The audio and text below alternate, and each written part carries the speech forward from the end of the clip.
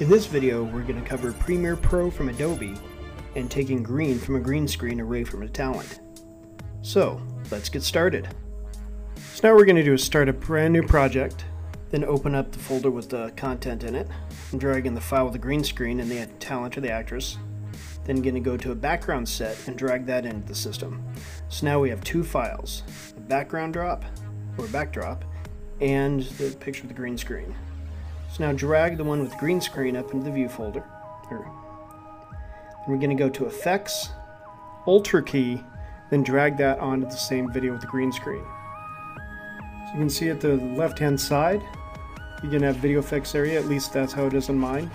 I drag the dropper into the green, and now I'm going down to aggressive, and that should get rid of the vast majority of the green. If not, there's a few other things that we can play with in matte. So now I'm going to drag the background to the backdrop. And I'm going to drag the actress to the green screen also on the same timeline. Now as you can see, you're going to have to resize it. Once it's resized, move it over a little bit, resize it again to get the right size. And it's as simple as that. So now what do you do once you actually have it overlaid?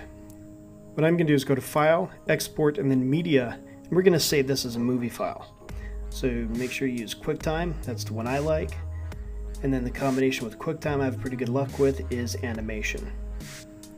So here's the key item, is that you need to make sure that you have a 32-bit color, because that's what actually has the alpha channel. So scroll down just a little bit. You see the color, 24-bit, let's make it to 32-bit. And at this point, you're ready to go. Let's hit export. This takes a while, so I'm going to fast forward. Now that it's done encoding or exporting, let's take a look at the file. Now you can see that these files are extremely large. This is only a 30 second clip and it's over 6 gig. So to make things a little bit more manageable, I'm going to open up the media encoder from Adobe and then convert it into something that I can use. In the background popped up the media encoder, so I'm going to drag the big 6 gig file onto it.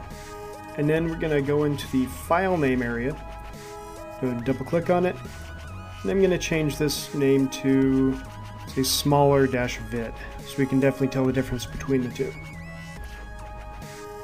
And then I'm also going to change the encoding, because it's a lot bigger. We'll still have pretty good quality if we dump it down. So in this section, Again, I like to go to the H264 and then everything else looks good. Going to hit OK. Then when you hit play, it starts the encoding process. Now this encoding phase can take time as well. Once it's done on the right hand side, we're going to see a new file pop up, which is probably going to be at least, probably maybe 10% of the size. And then we'll open it up and see how it looks. The Cyber Secrets web series covers computer forensics, hacking, and everything in between.